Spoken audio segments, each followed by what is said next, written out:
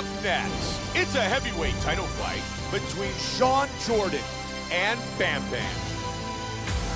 Our team. Shawn Jordan. You ready? Bam Bam. You ready? Here we go. Title fight. Five. Five-minute rounds. Oh, that's a big straight. He's doing a real good job of landing those punches. Oh, and he goes up top with a kick. Big he lands a huge elbow to the head. Combination. Hard kick lands. Man, he just missed. Head kick. Oh, big right. Oh, over the top. Oh, that caught him. Oh! Wow. Oh, dropped It it. is all over. Beautiful